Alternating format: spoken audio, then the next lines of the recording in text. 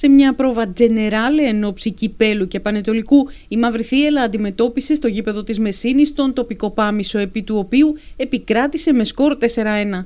Παιχνίδι προπόνησης, αντί να κάνω μια προπόνηση ή ένα εσωτερικό δίτερμα, ε, έκρινα ότι θα ήταν καλύτερα να παίξουμε ένα παιχνίδι. Ευχαριστούμε επί της ευκαιρίας στον Πάμισο.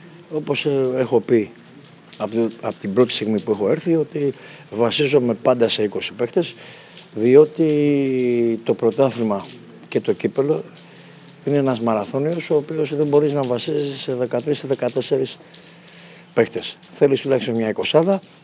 Με, αυτά τα, με αυτό το παιχνίδι βλέπουμε ποια παιδιά μπορούμε να τα να υπολογίζουμε, έτσι, να μας δίνουν βοήθεια, είτε ξεκινώντας το παιχνίδι, είτε ερχόμενοι από τον πάγκο. Και με αυτό το σκεπτικό ε, κάναμε αυτό το παιχνίδι, το οποίο όπως επίσης έχω πει, η Καλαμάτα όπου και αν παίζει πρέπει να κερδίζει. Τα γκολ για την ομάδα της Καλαμάτας πέτυχαν οι Πασάς, Βασιλόγιαννης, Ασαμόα και Κόκορης, ενώ για τον Πάμισο ο Ρουμελιώτης με πέναλτι μείωσε σε 4-1 λίγο πριν το φινάλε του παιχνιδιού. Ικανοποιημένος δήλωσε μετά το τέλος του αγώνα ο προπονητής της Μαυριστή Ελλά Νίκος Αναστόπουλος, που πλέον στρέφει το βλέμμα στο επερχόμενο παιχνίδι κυπέλου την Τετάρτη στο δημοτικό στάδιο της Καλαμάτας. Ο Πανετολικός είναι μια ομάδα πάρα πολύ καλή. Παρουσιάζεται φέτος πάρα πολύ δυνατή θα είναι ένα πάρα πολύ ωραίο παιχνίδι, χωρίς σκοπιμότητες. Ε, από αυτό το παιχνίδι μόνο να κερδίσουμε έχουμε. Δεν έχουμε να χάσουμε κάτι.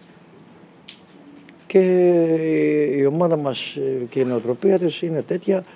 Ε, με όποια ομάδα παίζουμε προσπαθούμε να κερδίσουμε. Την ικανοποίησή του από την εικόνα που παρουσίασε ο Πάμισος απέναντι σε μια ομάδα ανώτερη κατά δύο κατηγορίες εξέφρασε ο Σπύρος Τσίκινης δίνοντας μάλιστα τις δικές του ευχές στη Μεσσηνιακή ΠαΕ. Τσέφχομαι τα καλύτερα να πάρει το πρωτάθλημα και στα παιδιά γνωρίζω και τον προπονητή, τον κύριο Αναστόπουλο.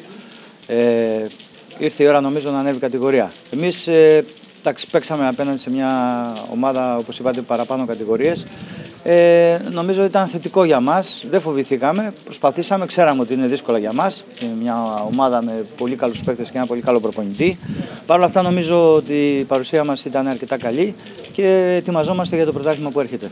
Στο περιθώριο του φιλικού αγώνα και στη διάρκεια του ημιχρόνου, η διοίκηση του Πάμισου Μεσίνης τίμησε για την προσφορά του στη Μαυρηθίελα και εν γέννη το μεσηνιακό ποδόσφαιρο τον πρόεδρο της ΠαΕ Γιώργο Πρασά.